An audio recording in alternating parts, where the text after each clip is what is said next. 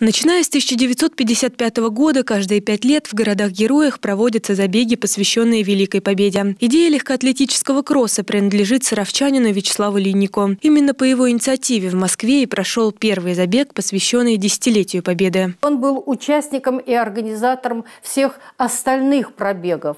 Пробегов всего было около 13.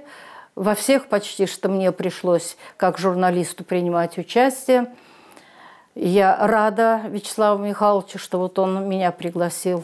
Я как бы вернулась в спортивную молодость. И потом, уже по истечению других э, лет, э, мы также э, участвовали в других э, мемориал, э, в других пробегах. Города, откуда начинались забеги, организаторы выбирали не случайно. Например, Брест – первый город, в котором немцы начали сильный артиллерийский обстрел. Курск, Сталинград, Севастополь. В них случались переломные моменты Великой Отечественной войны. Главным символом забега был факел, который спортсмены несли на протяжении всего пробега. Мы зажигали этот факел – у вечного огня Севастополя, Сталинграда, Бреста. И всю дорогу наши спортсмены его несли, этот факел.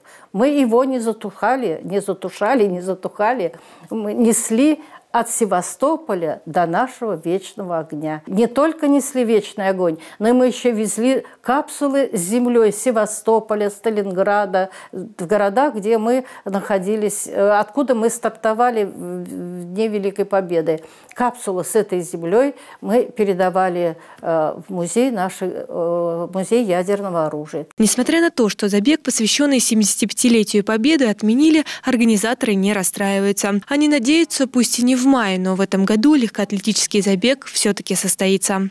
Ирина Вышегородцева, Евгений Шевцова, Сергей Рябов. Служба новостей Саров 24.